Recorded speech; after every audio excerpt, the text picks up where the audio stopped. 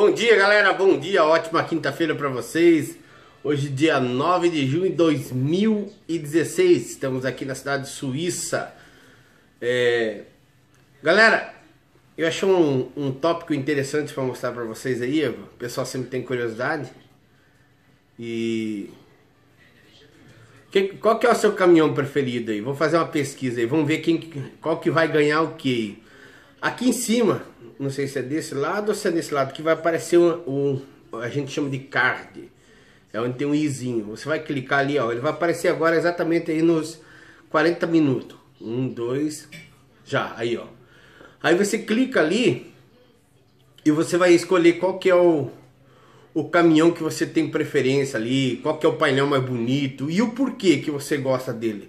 Aí simplesmente, ah, eu gosto do Volvo, é, ah, eu gosto do Scania.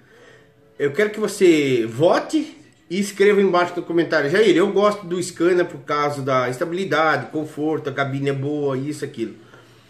Não há necessidade de você falar do outro caminhão, do que, ah, eu não gosto, é o qual você gosta.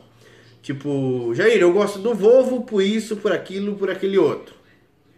É, não go eu gosto do Volvo e não gosto do outro. Não, não é necessário. Você só fala daquele que você gostar, tá bom? Olha os painelzão dos bichos aí. Vou colocar o painel aí, ó. De cada um desses aí. Do Volvo, do Iveco, do DAF. Ó, lembrando, hein? Aqui na Europa tem muito DAF e muito MAN. São considerados caminhões de top. Tá entrando no Brasil agora.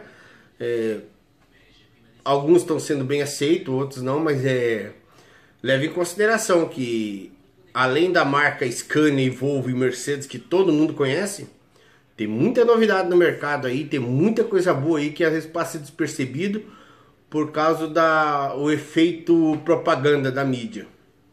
Fique de olho, hein? Tem caminhão bom no mercado aí.